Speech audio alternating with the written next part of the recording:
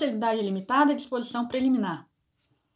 Na sociedade limitada, a responsabilidade de cada sócio é restrita ao valor de sua cota.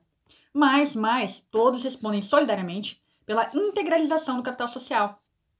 A solidariedade, a sociedade limitada pode ser constituída por uma ou mais pessoas.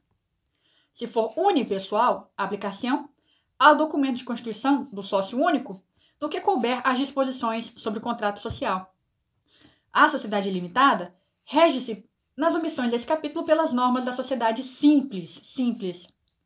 O contrato social poderá prever regência supletiva da sociedade limitada pelas normas de sociedade anônima. Então, o contrato social poderá prever, poderá prever é, regência supletiva conforme as normas da sociedade anônima. Mas, mas é, se for nas omissões, reger-se-á pelas regras da sociedade simples.